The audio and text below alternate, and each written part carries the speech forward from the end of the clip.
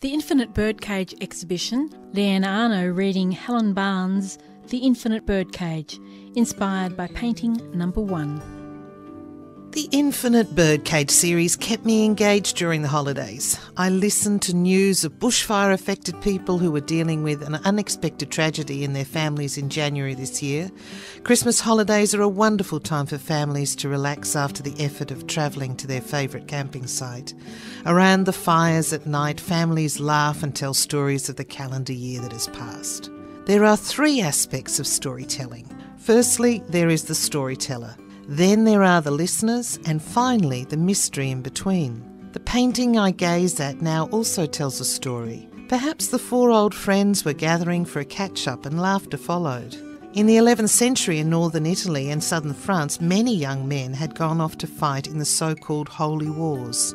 These young men, however, sang stories of love and had an enormous impact on the way their listeners related to each other by opening the eyes of others to see the good in those they met. Painters and poets also take people to another level of connection and learning.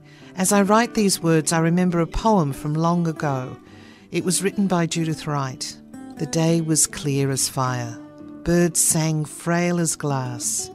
When thirsty, I came to the creek and fell by its side in the grass.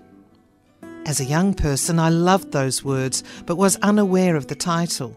Imagine the shock when I found that the title of the poem was The Killer.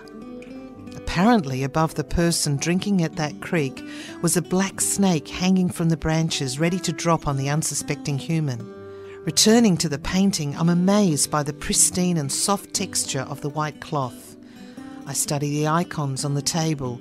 Each one suggests a connection or an interest.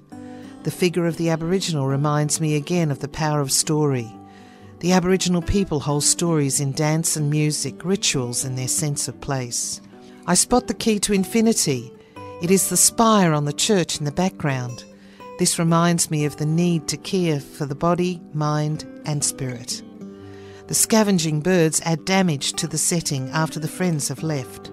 This whole experience and challenged me to look, listen, and search for the mystery and the goodness in others, especially those who share their life in song, story, or art.